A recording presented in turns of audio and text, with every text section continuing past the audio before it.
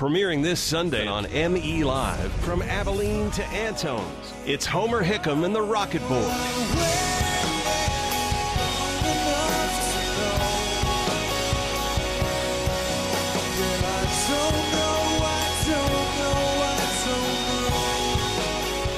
Homer Hiccolm and the Rocketboys this Sunday.